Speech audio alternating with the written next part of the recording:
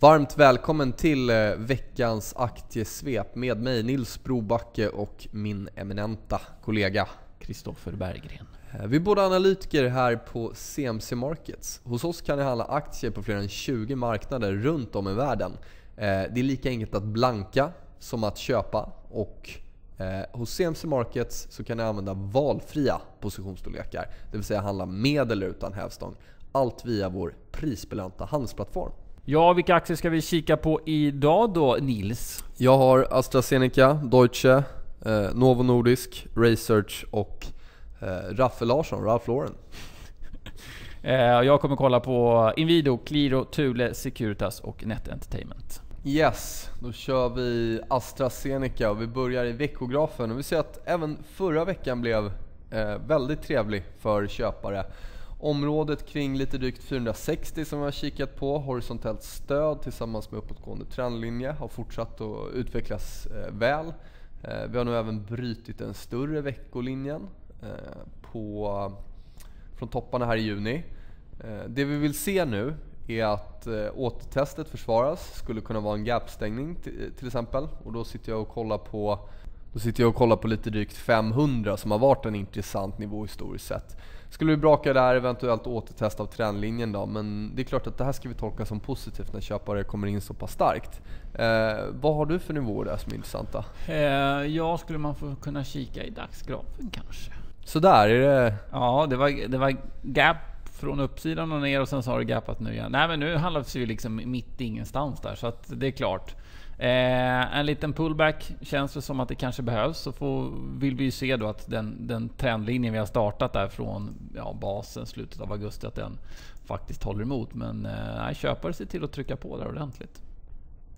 Har vi Deutsche Bank och vi är inne i veckografen och kikar. Vi kan se att vi har faktiskt kommit ner och handlas till de lägsta nivåerna på året här. Vi återtestar en viktig intressant nivå enligt teknisk analys. Lite drygt 13 då. Varför är den viktig? Jo, för det var en nivå som vi bröt i slutet av 2016. Det gav ytterligare köpstyrka.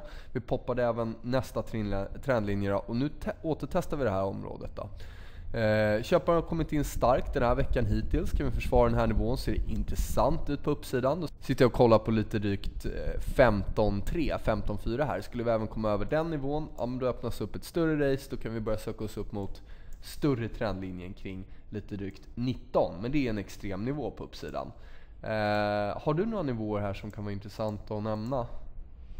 Uh, ja, alltså ni, uh, 13 där på nedsidan blir väldigt viktigt att den faktiskt håller emot. Och nu ser det som du sa där, så veckan har börjat starkt. Så vi börjar börja klättra upp. Ska vi kolla uh, i dagsgrafen? Ja, precis.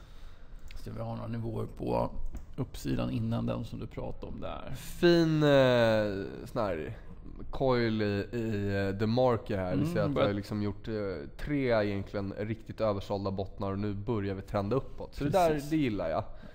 Sen har vi ett litet konsolideringsområde strax ovanför, men det egentligen närmaste motstånd som jag kollar på, det är runt en, vad kan det vara, 1460 kanske? Eh, den vändningen där, där det sålde på ganska fint och där vi har då, ja sen dess har vi egentligen precis där, ja 1470, 80. Mm. Och då har vi precis, ja. Eh, så det är det jag kollar på på uppsidan. Eh, framförallt i dagsläget. Då. Dagsgrafen Inwido. Eh, vi ser att vi här för någon vecka sedan, slutet av augusti, tog oss förbi den här negativa trendlinjen som vi har jobbat på länge, länge. Eh, kom upp till eh, motståndsområdet runt eh, 103. Där har det sålt på ner igen. Så nu blir det intressant att se. Vi såg ut som att vi var sugna på att stänga det där gapet helt och hållet, men vi kom inte riktigt ner. Vi har det ner mot en 94. Så att om nu säljare kan trycka på så skulle det bli faktiskt väldigt intressant återtest av den här negativa trendlinjen på fel sida. Vi har även den positiva trendlinjen från lite längre tillbaka i tiden som möter upp här nere. Visserligen lite längre, men ett återtest av 94 ser ju faktiskt riktigt spännande ut. Vi har fortsatt positivt momentum i RSI. Dagsgrafen i Net Entertainment. Eh, vi ser att vi sen topparna här i augusti har vi jobbat oss sakta eh, neråt. Vi gör lite försök att, att komma tillbaka så att säga, men säljare fortsätter trycka kursen. Eh, nu får vi se här. Vi gjorde en lägre botten, fick en köra uppåt, upp in i den här negativa trendlinjen och sen sålde det av. Men där kom köparen in lite tidigare. Det jag vill se nu det är att vi tar ut den här negativa trendlinjen. Eh, kommer sammanfalla ganska väl vid att vi plockar ut de här lite kortare medelvärdena, vilket indikerar ändå positivt momentum. Vi har negativt momentum i RSI fortsatt, så där vill vi också få momentumbryt. Eh, tar vi oss förbi den här nivån så håller jag koll på i närmaste hand är det runt en 77-40, ja 77-40, 77-50. De här topparna här. Att vi även kan passera dem. Säljer på nu, viktigt att köpare kan hitta styrka här och framförallt kanske vid den trendlinjen då. Men tar vi oss igenom där så här nere. Mm, ja, men jag håller med. 70, trendlinjen där som de målat ut kring 75 blir viktig. Bryter vi där eh, tror jag faktiskt eventuellt att vi går ner ända till 73 kronor där lite drygt då. Eh, och stängning över 76 skulle jag säga Eh, öppnar upp för färd mot topparna och sen vidare upp. Ser man på. Kikar vi på Novo igen och vi ser att vi har brutit den här viktiga, viktiga toppnivån och det har gett ytterligare styrka här nu i början av veckan. Vi ser vi fick en stängning över förra veckan, två där eh, och sen tar vi av uppåt då. Eh, varför sitter jag och kollar på 320? Jo, för det är en tidigare eh, bottennivå som bröts 2016, kom in extremt mycket sälj därifrån. Eh, återtesta den här nivån ser väl relativt troligt i en teknisk analys. Vi ser också en uppåtgående trendlinje här som möter upp. Eh, skulle vi bryta även där, ja, men då indikerar det väldigt styrka. Men det är i första hand den nivån jag kollar på på uppsidan. På nedsidan, de här topparna blir viktiga. Eh, kring eh, lite under 300 Skulle vi bryta där, då finns det ett scenario där vi ska ner och testa 280. Trendlinjen. Securitas dagsgraf. Efter en tids nedgång, tufft, negativt momentum här, fick vi ett break. Intressant faktiskt att det, det sålde av ganska snabbt, men vi kom ner till eh, ja, dels stödområdet här borta, den här fina botten runt 125,50. Eh, där vi även hade återtest på fel sida av den negativa trendlinjen och köpare kom in riktigt fint där faktiskt. Eh, nu har vi börjat bygga på en lite kortare, kortsiktigare trendlinje här. Så den kommer jag hålla koll på i första hand att den, den kan hålla emot ett eventuellt återtest. Då. Vi har ett lite mindre stöd runt en 128, så det är de två nivåerna i första hand jag kollar på. Break av motståndet runt en 133 eh, se som faktiskt eh, mycket spännande. Vi har även, som vi ser, de här medelvärdena har ju rört sig parallellt med varandra under längre, längre tid. Så att förhoppningsvis så agerar de också som lite stöd här om vi får ett återtest. Håller med. Tycker det ser ut som att det där är en botten. Eh, givet att nivåerna du har ritat upp håller. Då. Så att eh, absolut. Thule, dagsgraf. Eh, zoomar vi ut lite så ser vi att den här långa trendlinjen från eh, februari 2016 återtestades för Ja, när var det? Vi var nere och härjade här i slutet av augusti, sen kom köpare in fint.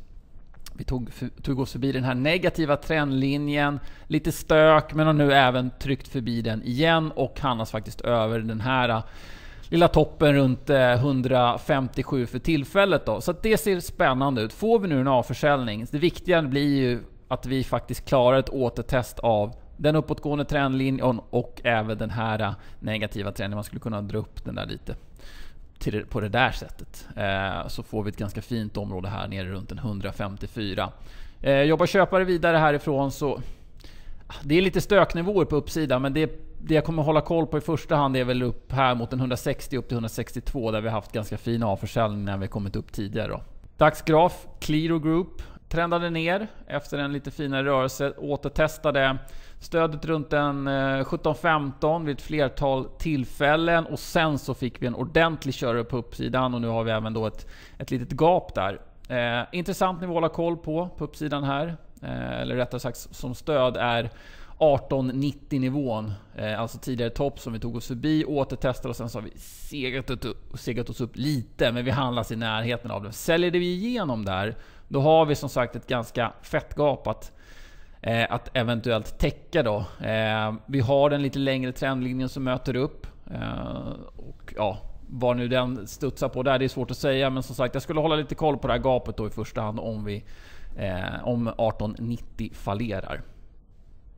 På uppsidan, ja då är det egentligen den här trendlinjen som jag håller koll på för ett eventuellt återtest då. Eh, så att det är runt en 20. Yes, Research Laboratories. Och eh, vi ser att vi har fått in ytterligare köpstyrka här. Vi eh, gappade upp i förra veckan över den här 180 nivån, tidigare toppnivå då. Eh, så vi ser att den här bottenformationen som vi har kikat på här kring 160, den har spelat ut väl. Eh, nu har vi ett litet gap på nedsidan. Eh, vi kan täcka det och testa trendlinjer. fortfarande vara i den här eh, mindre uppåtgående trendkanalen. Skulle vi sjunka under 170, ja men då håller jag mig borta. Men så länge vi försvarar de här nivåerna, det kan bara fortsätta uppåt härifrån också. Vi ska måla ut en liten mindre trendlinje här. Den passar rätt bra ihop med det här i, i sådant fall gapfill då, då och tidigare toppar återtestar. Så det är de två nivåerna jag sitter och kollar på. Har vi några andra nivåer här? Det var inte lika snyggt i veckografen så jag Nej, men 178 här. på nedsidan där blir ju väldigt viktigt att den håller emot. Sen så som du nämner, säljer igenom där, visst då har vi ju utrymme för ett återtest av Ja, den lite flackare trendlinjen då från botten här i mitten av augusti. Men det är den jag kommer hålla koll på i första hand. Att köpare faktiskt kan försvara det området eh, för eventuellt vidare färd uppåt. Yes, Ralph Lauren i veckografen och eh, vi kikar lite på den här bottenformationen. Vi har en större trendlinje som har hållit emot sedan början av 2015 och eh, nu har vi fått några positiva veckostängningar här över. Området kring 70 kronor har försvarats, vi har brutit över 80 kronor. Och det jag sitter och tittar på nu eh, är egentligen 90 här. Kan vi försvara den? Kan det fortsätta uppåt? Vi ska måla ut en liten trendlinje.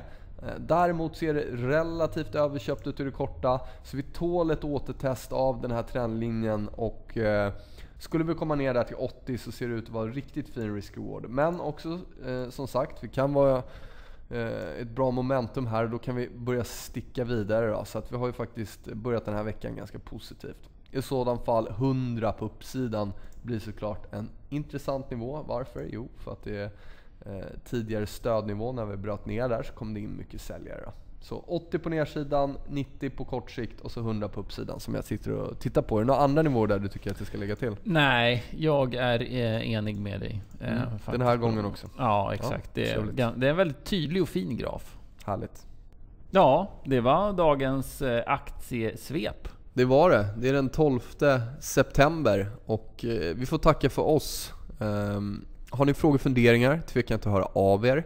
Annars får jag ja, önska lycka till med handeln. Är det något du vill tillägga Kristoffer? Eh, nytt poddavsnitt på fredag. Just det, Kommer håll utkik efter det. Prata robotrådgivning. Just det. Eh, ja, nej men annars inget annat. Då säger vi så. Ha det gott. Ha det. Hej.